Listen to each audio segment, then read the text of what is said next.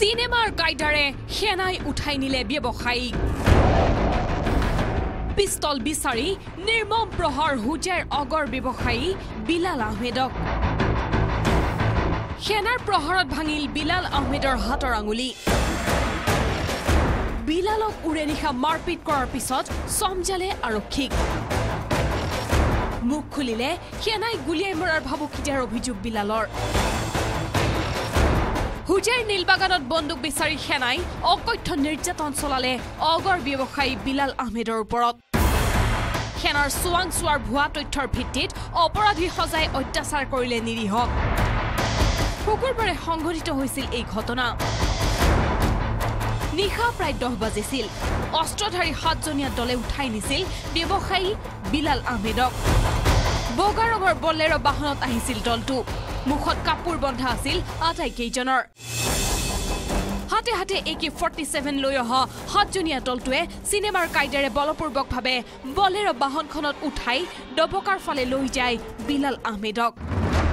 লগে লগে হাহাকাৰ পৰিস্থিতিৰ সৃষ্টি হয় বিলালৰ পৰিয়ালৰ মাজত। দুৰ্বৃত্তই অপহৰণ কৰাৰ সন্দেহত হুজাই আৰক্ষীক খবৰ দিয়ে পৰিয়ালৰ লোকে।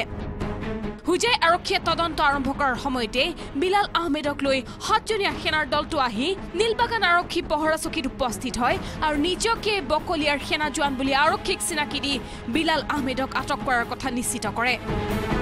সেনাৰ জোৱান কেইজনে নীলবাগান হাস্পতালত বিলালৰ স্বাস্থ্য পৰীক্ষাও কৰায়। সাতটা বজাত তিনিআলিৰ পৰা ঘৰত আহোঁতে মছজিদৰ সন্মুখত অহাৰ পিছত হঠাৎকৈ গাড়ী দুখন আহি মোৰ সন্মুখত মানে আৱৰি ধৰি মোক গাড়ীৰ পৰা সিহঁতে চিভিল ড্ৰেছে নামি মোক গাড়ীত উঠাই চব চব বান্ধি মানে চব বান্ধি মানে আৰম্ভ কৰিলে যে মানে বন্দুক কথা আছে বন্দুক ওলাই দিয়ে ওলাই দিয়ে বন্দুক ওলাই দিয়ে আৰক্ষীয়ে পৰিয়ালক চমজাই দিয়াৰ পিছতে সেনাৰ অত্যাচাৰ সন্দৰ্ভত মুখ খুলিছে ব্যৱসায়ী বিলাল আহমেদে চব বান্ধি পেলাই মোক সেই চেণ্টিকেট নি পেলাই ৰখাই তাত মানে বিৰাট মাৰপিট কৰিছে হাত দৰ্জা দি দৰ্জাৰ চিপাত হাত এনেকৈ মানে ৰাখি আকৌ দৰ্জা লগাই মানে বান্ধিছে। আৰু বন্দুক দি মানে পিছফালে মানে এই পেটত মাৰপিট কৰিছে। বন্দুক বন্দুক দিব লাগে পিষ্টল দিব লাগে। পিছততো মোক মানে বহুত মাৰপিট কৰি পেলাই মানে মোৰ ডিঙিত চেপি ধৰি মই বেহুচ হৈ গৈছোঁ। তাৰপিছত মই আৰু ক'ব নোৱাৰিম।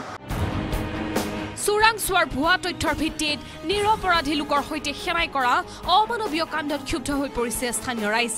ঘটনাৰ উচিত তদন্তৰ দাবীত মুৰাৰজাৰ থানাত এজাহাৰ দাখিল কৰিছে বিলালৰ পৰিয়ালে। আনহাতে চিতলমাৰীত বিলালৰে ভূমি কেন্দ্ৰিক বিবাদ চলি থকা এটা পৰিয়ালে সেনাৰ চোৱাংচোৱাৰ লগত মিলি ষড়যন্ত্ৰত লিপ্ত হোৱা বুলি অভিযোগ কৰিছে বিলাল আহমেদৰ পৰিয়ালে।